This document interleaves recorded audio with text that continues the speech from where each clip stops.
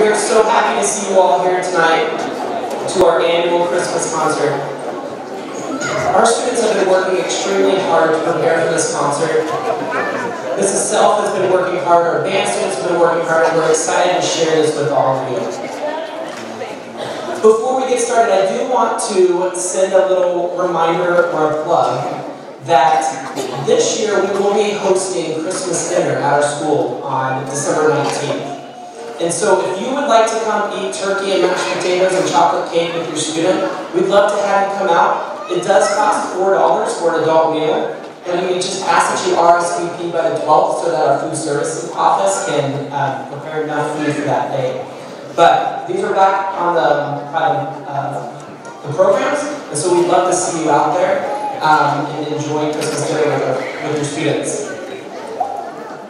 As just a reminder, we do ask that um, during tonight's concert that we avoid calling our students' names as they're performing, um, as it may become a distraction for some of those students. And then Mrs. Self would also like to ask that because of their jackets and their coats and all that stuff, if you just pick up your student where you drop them off. So fifth grade's over in the, the gym lobby, and then third and fourth grade are over on this side of the band choir rooms. We really appreciate it. Again, we're really excited to see what our students can do for us and perform for us. So put your hands together for our Hulet Band.